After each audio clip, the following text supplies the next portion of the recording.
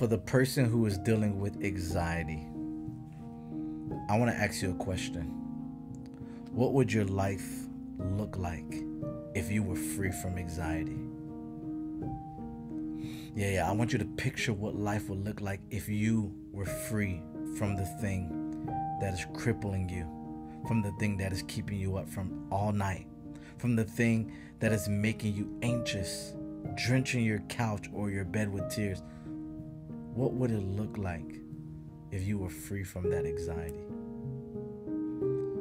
Ask yourself that question. Because I came to tell you today that the Lord doesn't want you to be anxious.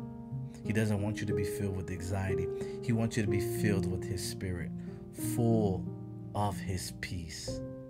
I'm talking about peace that surpasses all understanding, that will guard you and protect you from things that are trying to invade your life, your mind. These things that are trying to steal your hope and your joy.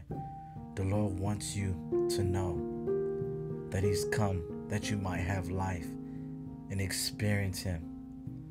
So I want you to seek God's presence in this season, even right now at this moment.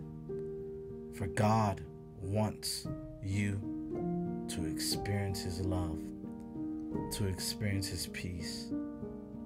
Receive His peace right now, family.